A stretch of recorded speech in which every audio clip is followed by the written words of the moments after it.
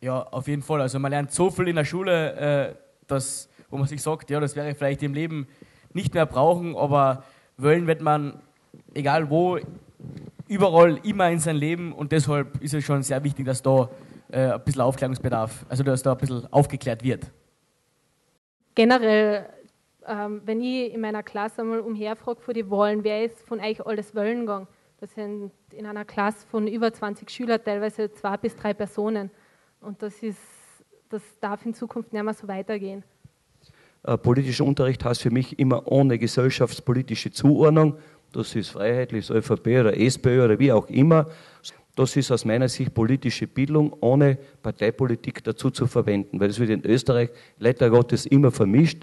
Da hat man in den Schulen wenig politische Bildung, weil man gedacht hat, der Professor ist einer, der parteipolitisch motiviert dort agiert. Die Jugend sollte dort einfach in der Richtung äh, eine politische Meinung sich bilden können und, und frei sein, mit 16 ins Wöllen zu gehen.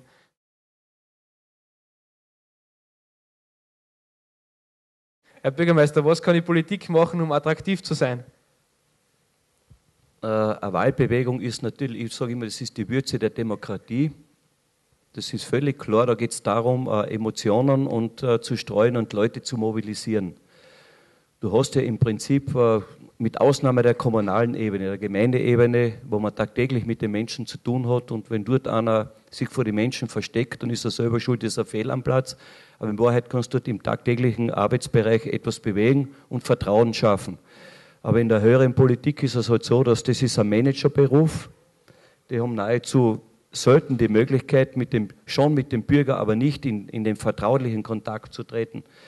Daher ist es richtig, dass es einen Wahlkampf gibt, mit oder ohne Kugelschreiber. Das ist genau die Phase, wo jemand sagt, was er sich vorstellt oder wo er eventuell Rechenschaft ablegt.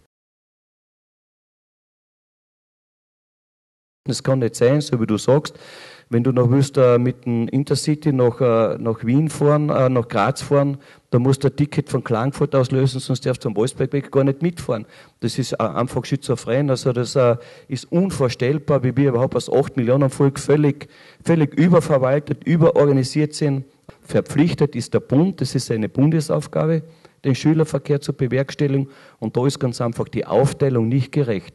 Da ist anzusetzen, es muss die Kopfquote abgeschaffen werden, es müssen Sockelbeträge sein und da muss das Gesamte indexiert werden.